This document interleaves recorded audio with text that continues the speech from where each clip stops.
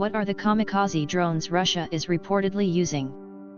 Unlike those that return to base once missiles are launched, suicide drones are destroyed in an attack.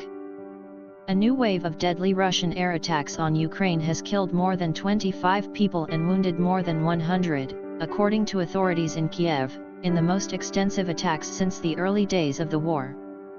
The current attacks, which began on October 10, have targeted at least 10 regions across the country and used Russian missiles as well as Iranian-made drones, according to Ukrainian authorities.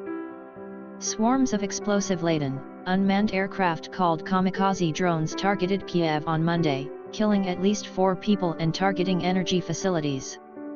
Among the victims was a young couple expecting a baby in three months, according to the mayor of Kiev. The Ukrainian Air Force said it destroyed at least 37 drones on Monday. For their part, officials in Tehran deny supplying Russia with the weapons. Why are they called kamikaze drones? Unlike drones that return to base once missiles are launched, kamikaze or suicide drones are destroyed in an attack. Al Jazeera's defense analyst Alex Gatopoulos says these munitions can hover above an area to identify a target before diving to destroy it. They are also called loitering munitions.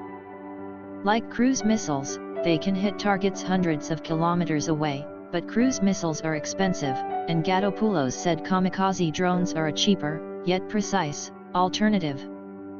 Ukrainian President Volodymyr Zelensky said Russia had bought 2,400 kamikaze drones but its fleet is being depleted quickly.